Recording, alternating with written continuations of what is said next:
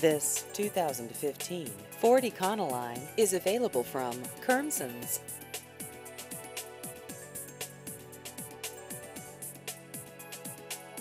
This vehicle has just over 7,000 miles.